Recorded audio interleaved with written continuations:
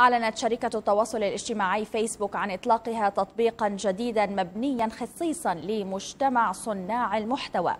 ويحمل التطبيق الجديد اسم فيسبوك كرييتر.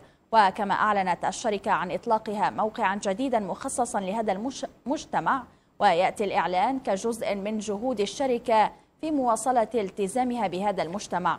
وعبرت الشركة عن حماسها حول الطرق الإبداعية التي تمكن من خلالها صناع المحتوى من فرض نفسهم في مجتمع فيسبوك.